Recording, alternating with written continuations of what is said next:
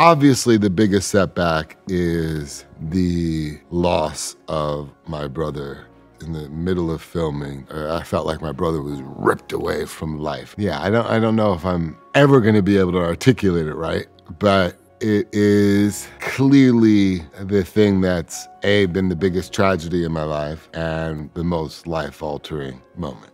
I'll never forget being in an airport in Mexico. The movie hadn't come out yet. Paul and I were sitting on the floor with our bags to the side, about to board a commercial flight back home. I remember him leaning over to me and saying, Take all this in. And I said, What? And he said, Take in the fact that people are walking over our legs, almost kicking our bags, and not paying any attention to us. I said, Why?